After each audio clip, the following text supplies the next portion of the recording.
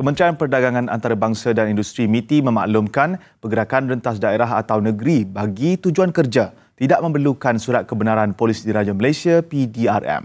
Kementerian itu melalui Twitter semalam maklumkan dokumen diperlukan hanya kombinasi surat dikeluarkan MITI dan surat majikan atau surat MITI dan pas pekerja. Surat MITI itu juga tidak perlu dicop oleh PDRM. Kenyataan itu menyusul selepas Menteri Kanan Keselamatan Datuk Seri Ismail Sabri Yaakob berkata semua aktiviti rentas negeri dan daerah tanpa kebenaran PDRM di seluruh negara tidak dibenarkan berkuat kuasa hari ini hingga 6 Jun. Sepanjang tempoh Perintah Kawalan Pergerakan PKP yang dilaksanakan ketika ini, syarikat dan sektor ekonomi dibenarkan beroperasi dengan mematuhi prosedur operasi standard SOP ditetapkan kerajaan. Ia bagi sektor ekonomi di bawah MITI dan Kementerian Perdagangan Dalam Negeri dan Hal Ehwal Pengguna KPDNHEP yang operasi disokong oleh kelulusan MITI. Manakala sektor lain mengikut kelulusan kementerian masing-masing.